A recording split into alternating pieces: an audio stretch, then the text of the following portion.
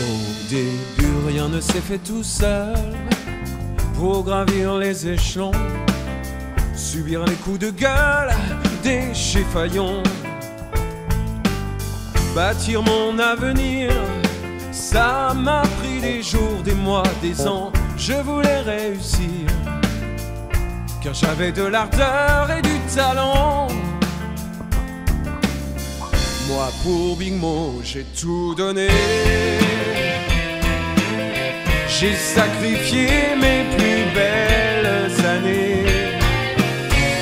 J'ai fait de son combat le mien. Et aujourd'hui tu vois, je ne suis plus sûr de rien.